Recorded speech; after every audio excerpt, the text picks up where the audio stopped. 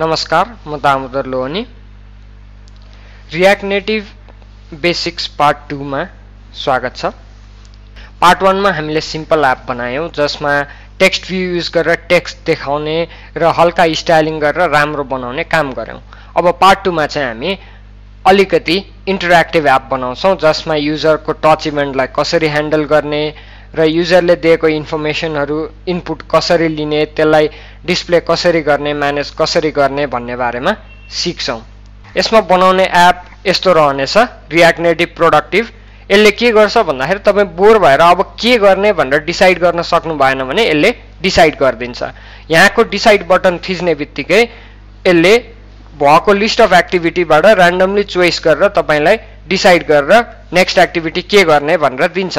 यसको काम यसरी गर्छ डिसाइड थिच्ने बित्तिकै तपाईँलाई यसले नेक्स्ट एक्टिभिटी के गर्ने भनेर दिन्छ र यसमा प्रिडिफाइन लिस्ट अफ एक्टिभिटीमा तपाईँले यहाँबाट एड एक्टिभिटी गरेर नयाँ एक्टिभिटी थप्न पनि सक्नुहुन्छ। रियाक्ट नेटिभ लर्न भनेर मैले नयाँ एक्टिभिटी थपेँ भने अब यहाँ डिसाइड गर्दै जाँदाखेरि यसले रियाक्ट नेटिभ लर्न भनेर हामीले थपेको एक्टिभिटी पनि देखाइदिन्छ। र यो एप गरिसकेपछि हामीले के सिक्छौँ भन्दाखेरि बटन भ्यू बटन कसरी युज गर्ने युजरको बटन जसमा चाहिँ युजरले टच गर्दाखेरि कसरी इभेन्ट ह्यान्डल गर्ने त्यसपछि युजरले दिएको टेक्स्ट इनपुटमा टेक्स्ट कसरी युज गर्ने युजरले दिएको इनपुट कसरी लिने र त्यसलाई स्टेटमा राखेर चेन्ज गरेर स्टेटहरू अपडेट गर्ने मोडिफाई गर्ने काम कसरी गर्ने भन्ने हामी यो ट्युटोरियलमा सिक्छौँ। हामीले बेसिक रियाक्ट नेटिभ प्रोजेक्ट कसरी सेटअप गर्ने र बेसिक स्टाइलिङहरू कसरी गर्ने कुरा सिकिसक्यौँ पार्ट वानमा त्यही भएर हामी त्यो कुरा यहाँ दोहोऱ्याउँदैनौँ। र त्यो कुरा नदोहोऱ्याउनको लागि यो ट्युटोरियलमा चाहिने बेसिक कोड मैले सेटअप गरेर जिटअपमा राखिसकेको छु। हामी त्यसैलाई डाउनलोड गरेर यो ट्युटोरियल सुरु गर्छौँ। त्यो डाउनलोड गर्नलाई तपाईँ GitHub dot com slash Lohani tech slash RN productive भन्ने रिपोजिटरीमा जानुपर्ने हुन्छ। तपाईँले जिटअप चलाउनु भएको छ भने यसबारे तपाईँलाई थाहा छ छैन भने पनि केही छैन। यो ट्युटोरियल फलो गर्नुहोस्। र यहाँ देख्न सक्नुहुन्छ अलिकति तल ब्रान्च मास्टर देखाइरहेछ। मास्टर ब्रान्चमा कम्प्लिट कोड छ भनेको। एप सकिसकेपछिको कोड चाहिँ मास्टर ब्रान्चमा छ जुन तपाईँले रिफरेन्सको लागि हेर्न सक्नुहुन्छ। सुरुवात गर्नको लागि चाहिँ यो ब्रान्चबाट स्टार्ट ब्रान्च सेलेक्ट गर्नुहोस्। र स्टार्ट ब्रान्चमा स्विच हुन्छ। यो भइसकेपछि यहाँ क्लोन अर डाउनलोड भनेको ठाउँमा जानुहोस्। त्यहाँ गएर क्लिक गर्नुहोस्। तपाईँ यदि जिट चलाउनुहुन्छ जिट चलाउनुहुन्छ भने सिधै क्लोन गर्नुहोस् तपाईँलाई आउँछ।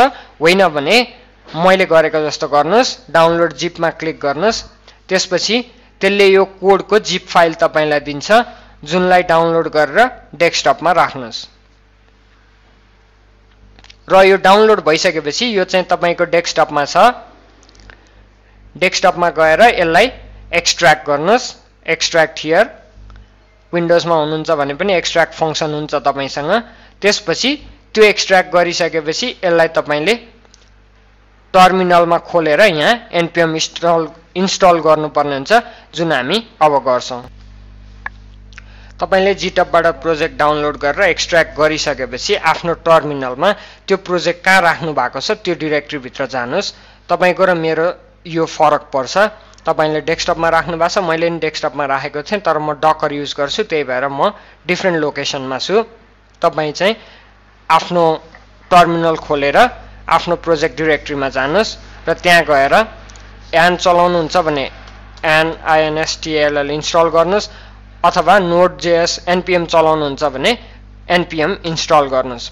यो गरिसकेपछि मैले गरिसकेको छु तपाईँको पनि यसरी सबै प्याकेजहरू रिजल्भ भएर इन्स्टल हुन्छ र डन भनेर आउँछ।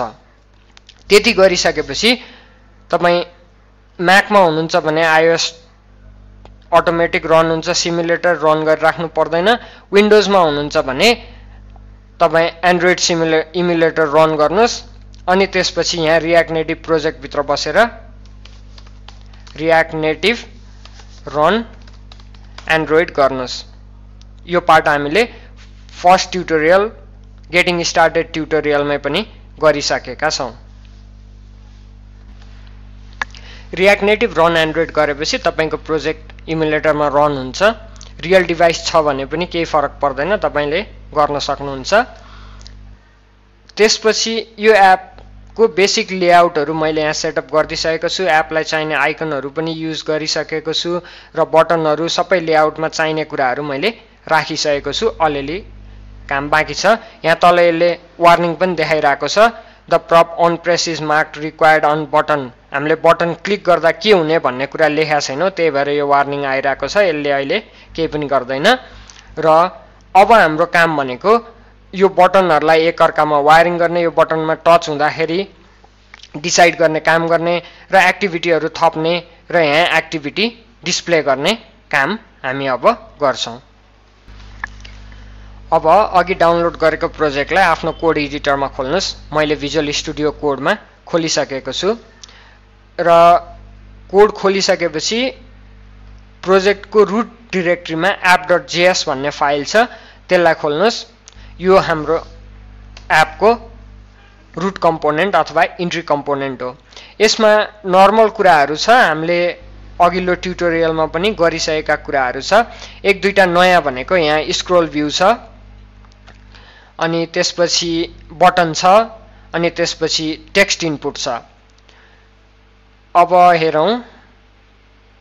सबभन्दा पहिले यो स्क्रोल भ्यू स्क्रोल भ्यूले चाहिँ हामीले रुट कम्पोनेन्ट बनाएका छौँ। स्क्रोल भ्यूलाई हाम्रो एपको स्क्रोल भ्यूले के गर्छ भन्दाखेरि तपाईँको कन्टेन्ट यदि एक पेजमा अटाएन भनेको एन्ड्रोइडको अथवा तपाईँको मोबाइलको स्क्रिनमा अटाएन भने यसले चाहिँ स्क्रोलिङ क्यापाबिलिटी दिन्छ। तपाईँको कन्टेन्ट मोर देन भ्युएबल स्क्रिनभन्दा बढी भयो भने यसले स्क्रोलिङ फङ्सन दिन्छ। स्क्रोल बारहरू दिएर युजरलाई तलमाथि स्क्रोल गर्न दिन्छ र यसलाई तपाईँले होरिजेन्टल बनाएर होरिजेन्टल स्क्रोलिङ पनि बनाउन सक्नुहुन्छ। यसमा हामीले कन्टेनर कन्टेन्ट कन्टेनर स्टाइल भनेर स्टाइलिङ दिएका छौँ।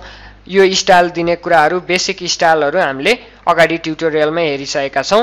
र यसमा अर्को नयाँ भनेको बटन बटन हामीले रियाक्ट नेटिभबाट इम्पोर्ट गरेका छौँ। र यसलाई युज गर्ने तरिका भनेको बटनमा दुईवटा प्रप चाहिँ रिक्वायर्ड प्रप्ट हो भनेको। यो बटन युज गर्नलाई एउटा टाइटल पास गर्नुपर्छ। जुन टाइटल चाहिँ यहाँ देखिन्छ। यो बटनमा देखिएको लेभल भनेको यसको टाइटल हो। त्यसपछि अर्को भनेको अनप्रेस भनेको। त्यहाँ त्यो बटनमा युजरले प्रेस गर्दाखेरि अथवा ट्याप गर्दाखेरि के काम गर्ने भन्ने कुरा पास गर्नुपर्ने हुन्छ। त्यो हामी अहिले एकछिनमा गर्छौँ। अनि यहाँनिर चाहिँ डिसाइडेड एक्टिभिटी देखाउने टु डु भनेर मैले यहाँ कमेन्ट राखेको छु। यसरी जेएसएक्सभित्र कमेन्ट लेख्ने तरिका पनि तपाईँले यो हेरेर जान्नुहुन्छ। हामी चाहिँ जाभा स्क्रिप्ट एक्सप्रेसन बनाएर अनि जाभा स्क्रिप्टकै कमेन्ट लेख्छौँ यहाँनिर। अब पहिला कुरा भनेको हामीले लिस्ट अफ प्रिडिफाइन्ड एक्टिभिटिज बनाउनु पर्ने हुन्छ। र लिस्ट अफ एक्टिभिटी चेन्ज हुन्छ चेन्ज हुने हुन्छ। त्यसपछि युजरले दिएको एक्टिभिटी थप्नु पर्ने हुन्छ। त्यहाँबाट चोइस गरेर एउटा एक्टिभिटी देखाउनु पर्ने हुन्छ। भनेको हाम्रो कम्पोनेन्टमा अब चेन्जेबल डेटा राख्नुपर्ने हुन्छ। त्यो चाहिँ हामी कहाँ राख्छौँ त भन्दाखेरि कम्पोनेन्टको स्टेटमा। अब स्टेट कसरी डिफाइन गर्ने त कम्पोनेन्टमा? पहिला, सबैभन्दा पहिले कन्स्ट्रक्टर बनाऊ। तपाईँ अब्जेक्ट ओरिएन्टेड ब्याकग्राउन्डबाट आउनु भएको छ भने तपाईँलाई क्लास कन्स्ट्रक्टरको बारेमा थाहा छ, थाहा छैन भने तपाईँले अलिअलि पढ्नुपर्ने हुन्छ। र यो कन्स्ट्रक्टरले चाहिँ प्रप्स भन्ने आर्गुमेन्ट लिन्छ। कन्स्ट्रक्टर बनाइसकेपछि सुपर कल गर्नुपर्छ। यो भनेको, हामीले चाहिँ यो एप भन्ने क्लास रियाक्ट नेटिभको कम्पोनेन्ट भन्ने क्लासबाट एक्सटेन्ड गरेका छौँ र यो कन्स्ट्रक्टरले प्यारेन्ट क्लासको कन्स्ट्रक्टर कल हो। अब यहाँनिर हामी यो कम्पोनेन्टको स्टेटलाई इनिसियलाइज गर्छौँ। दिस डट एसटिएटी स्टेट भनेर इज़ इक्वल्स टु अब यसमा हामीलाई के के चाहियो त भन्दाखेरि एक्टिभिटिज चाहियो। एक्टिभिटिज चाहिँ के हो त? एरे हो। त्यसपछि अर्को भनेको सेलेक्टेड एक्टिभिटी इन्डेक्स भनेर राख्छौँ हामी। नल राखौँ अहिले। सेलेक्टेड एक्टिभिटी इन्डेक्स भनेको चाहिँ के हो त? यो मध्येको कुन चाहिँ एक्टिभिटी सेलेक्ट गर्ने भनेर यो इन्डेक्सले दिन्छ। र यहाँ प्रिडिफाइन लिस्ट अफ एक्टिभिटिज बनाऊ। Code eat drink water rest भनेर चारवटा एक्टिभिटी हामी राखौँ। त्यसपछि अब के गर्ने त?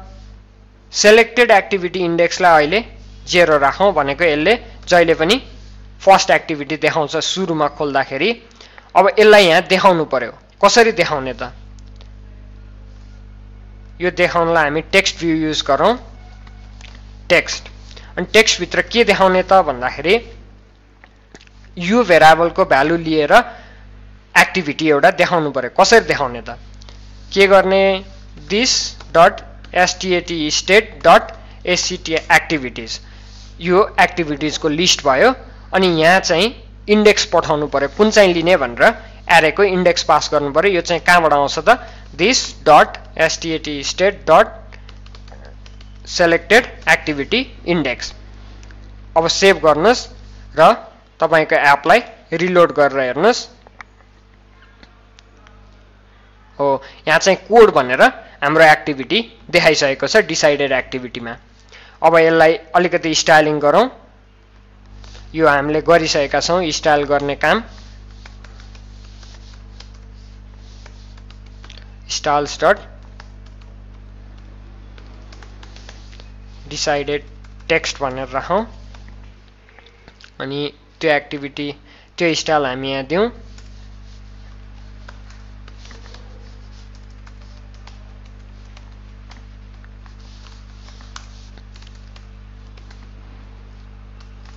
फन्ट साइज़ यसलाई ट्वेन्टी एट बनाइदिउँ अनि त्यसपछि फन्ट वेट दिउँ यसलाई नाइन हन्ड्रेड बोल्ड गरौँ अनि त्यसपछि यसलाई रिलोड गरेर हेर्नुहोस्। ओके यो हामीले चाहेको जस्तो देखिएको छ। अब यहाँनिर अर्को एउटा कुरा स्टाइलिङमा म तपाईँलाई अर्को नयाँ कुरा सिकाउँछु। जस्तो सिएसएसमा हामीले क्यास्केडिङ स्टाइल सिट एक एउटैलाई दुई तिनवटा स्टाइल दिन सक्थ्यौँ त्यस्तै हामीले यहाँ पनि दिन सक्छौँ। कसरी दिने त भन्दाखेरि यो स्टाइलमा पास गर्दाखेरि चाहिँ एरे पास गर्ने यसरी स्टाइल्स डट टेक्स्ट अनि यसमा पछाडि आउने स्टाइलले चाहिँ अगाडि भएको स्टाइललाई एउटै स्टाइल दुईवटा स्टाइलमा तपाईँले दिनुभएको छ दुईवटा दुईचोटि पास भने पछाडिकोले चाहिँ काम गर्छ। र यहाँ स्टाइल्स डट टेक्स्ट दिएपछि यो टेक्स्टले कलर दिन्छ अनि पछाडिको डिसाइडेड टेक्स्टले चाहिँ साइज़ र फन्ट वेट कलर चेन्ज भयो कि भएन। ओके कलर चेन्ज भयो